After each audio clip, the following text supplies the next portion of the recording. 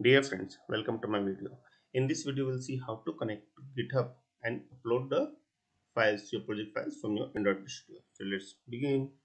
We'll create a new project and name this as GitHub connection demo.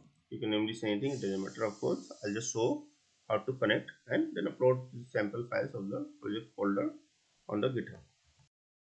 So this environment may take a time take a while to create. In the meantime what i'll do is i'll go to my github.com login and then i'll create a new repository. Probably i'll give it some name. Demo repo. And I'll leave it public so it's easy to access. Although we'll have to create a token to uh, connect but yeah rest of things I'll leave it as it is and just click on create. So by default this page will come up and create a new file or upload an existing file. So this so all the details are given over here like the connection string and all. So we'll come back to come to this one again. Let me go to my android studio. So the yeah environment is set up. And of course whatever files you can do in this app but i'll just focus on the version control part and create on this it will ask to select a folder. Just click ok and it will create by default a local git repository in that particular same folder where your app is created. So probably i can quickly show you. So i'm bringing this folder up where my app is created. So this .git files and all gets created because it's a local repository.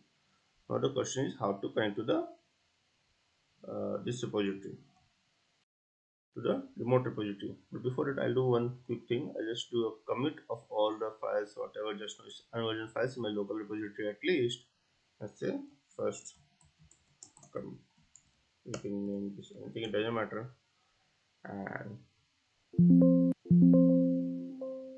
so it may take a while to commit but this commit is happening in the local repository which is uh, residing on my this particular folder over here so in this .git file.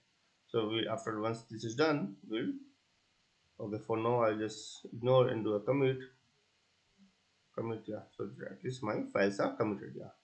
So now once it's done I'll quickly show you how you can do it for remote also. So you can go here again on push if you click it will give you an option to define the remote. Remote is basically the yeah the uh, other not a local uh, repository. So once you click here then you can go to your uh, github and then copy this. This is the https url come back click ok and let's see.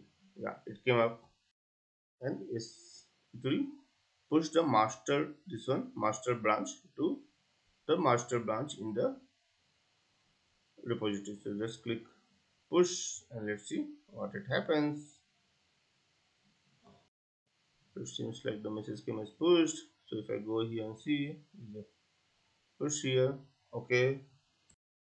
And i get all the options of checkout and all that's fine. I'll go back to my repository here quickly uh, try to refresh and see in the masters. There is only master branch there is no main branch of course. So all my first commit has come up so if i go inside here yeah. this is just the first file so there will be nothing much but at least you can see the my file name which is basically the github connection demo. So there's the same file which if i go here that's over there. Github connection demo. MainActivity.java file is there.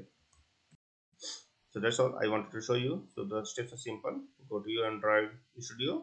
From here you can first do a check-in or commit to the local and then from push over here you can define the remote and then you can push it to the uh, remote repository wherever you have created it in the github.